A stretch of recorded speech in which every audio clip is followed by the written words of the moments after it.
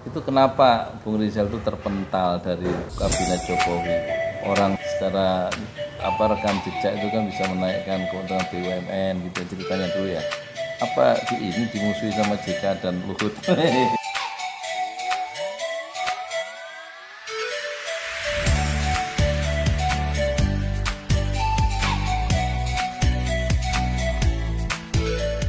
Saya nggak tahu ya. Kira- Kira-kira apa menurut Pak Sudi? Ya soalnya gini, sebagai seorang intelektual bebas gitu, Bang Rizal kan ya, track recordnya terus memihak rakyat, memihak pro rakyat yang tidak pro penguasa, terus berhadapan dengan dua pedagang itu. Nah ini persoalannya kan. Jadi pada waktu itu salah satu adalah Pak Yusuf Kala. Hmm, kasus apa? Karena saya bilang dia itu rajanya peng-peng. Peng-peng itu apa? Peng-peng itu pengusaha merangkap jadi penguasa. Oh, peng-peng. Nah dua-duanya profesi mulia loh mas. Jadi pengusaha itu mulia, jadi penguasa mulia. Tapi kalau dirangkap oleh satu orang, merugikan negara, merugikan rakyat, dan menciptakan kompetisi yang tidak fair. Kalau di luar negeri nggak boleh, harus milih salah satu.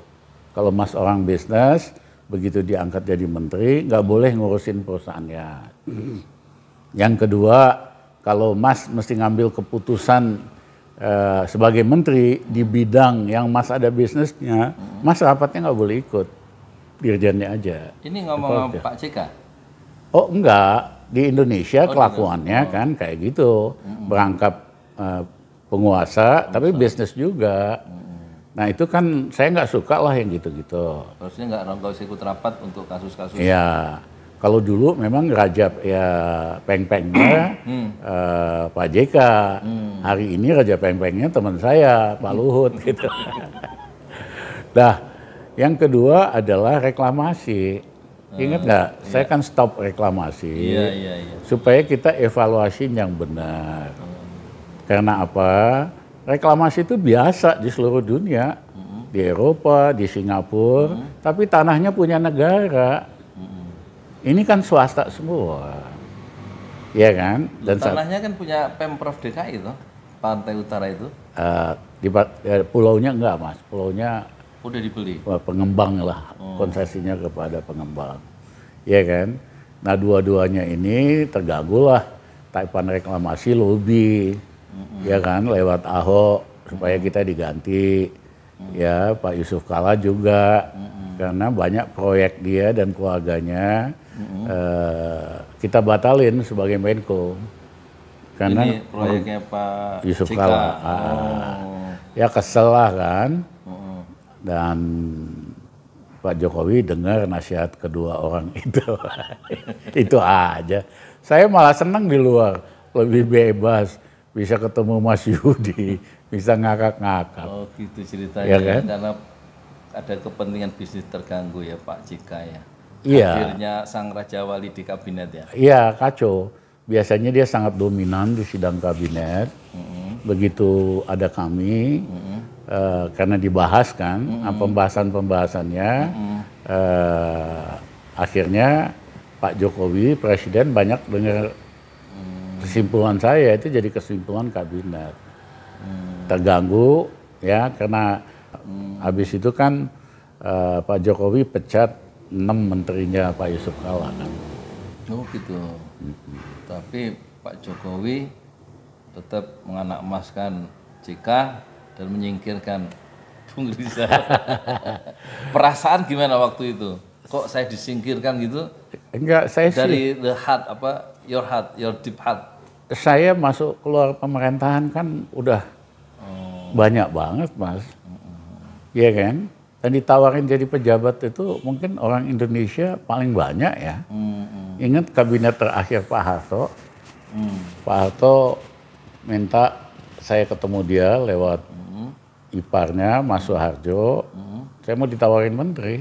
Dia bilang terima kasih, saya lebih bagus di luar aja. hmm, Nah waktu Pak Habibie jadi presiden, eh, saya diminta ketemu Pak Habibie karena Pak Amin Rais sama Pak Baromuli ngajuin saya hmm. jadi Menteri Keuangan Pak Habibie. Hmm. Saya nolak karena saya bilang saya menganggap Pak Habibie masih keterusan Pak Harto lah, Oh.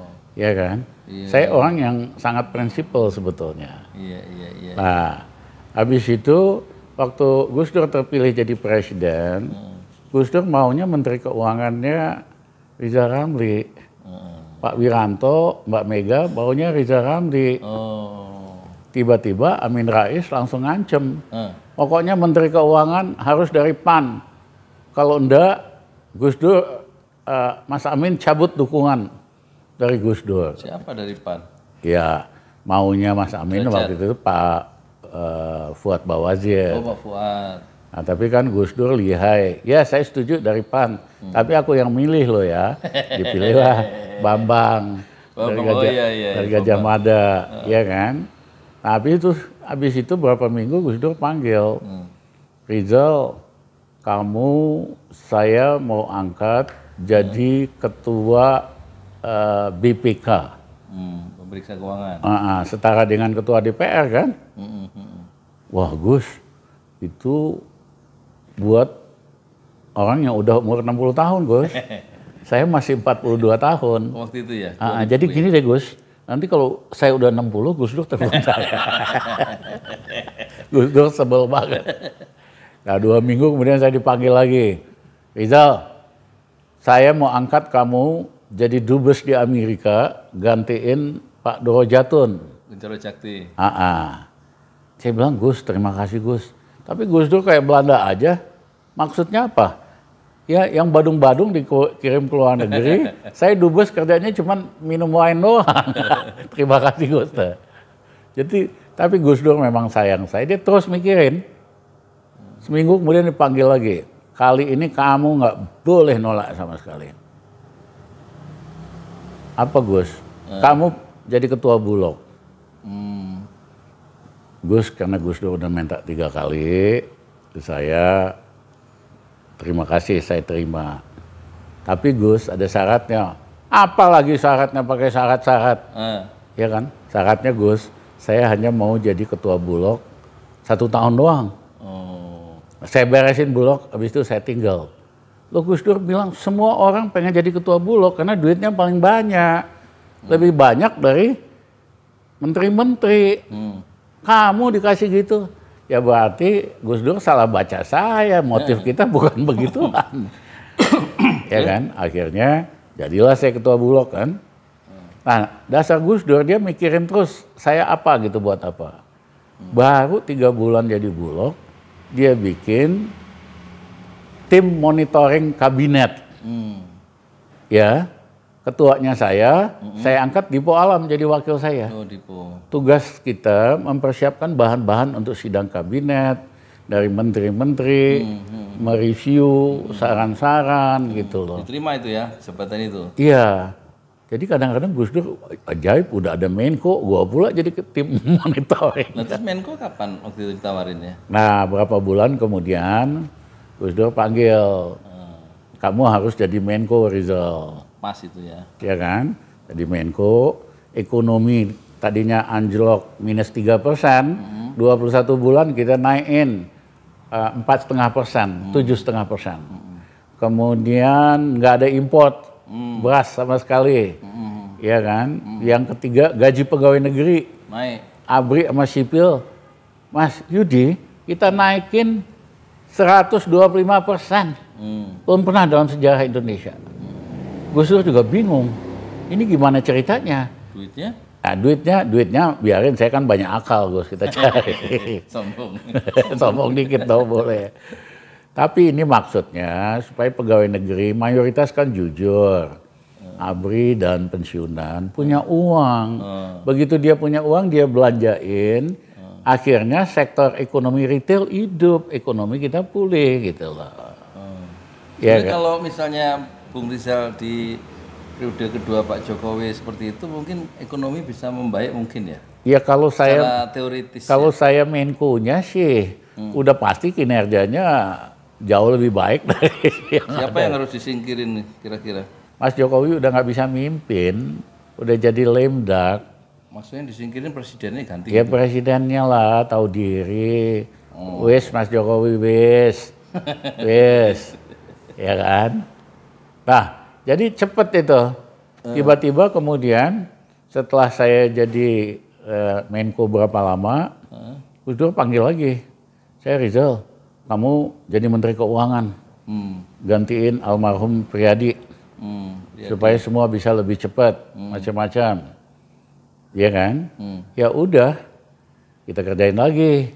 Jadi pokoknya Gus Dur kalau dia ada masalah, ada macam-macam, dia kasih kita tugas. Hmm. Ya, misalnya saya ketua Bulog, saya pikir kerjaan saya kan cuma ngurusin Bulog. Tahu taunya ada aja. Gus Dur telepon, Rizal, itu perusahaan pesawat Pak Habibie IPTN merugi puluhan miliar, ratusan miliar. Hmm. Ya, kamu beresin deh. Loh, Gus, salah nelfon, Gus. Telepon Menteri BUMN, Menteri Perindustrian. Ya enggak, saya maunya kamu. Hmm. Kita kan ngeles terus. Gus, saya waktu muda suka ngeritik Pak Habibie. Jor-joran bikin pesawat, nggak pernah memperhitungkan aspek ekonomis atau biayanya. Hmm. Gus Dur kan canggih, Mas Yudi. Hmm. Dia bilang kamu itu ya kena karma. Ngapain dulu kamu ngeritik-ngeritik Pak Habibie? Ya tugas kamu beresin dia. Akhirnya kita beresin, kita ganti paradigmanya supaya jadi competitive aircraft industry, industri penerbangan yang kompetitif. Yang kedua, kita ganti direksinya dengan kader Pak Habibie yang muda.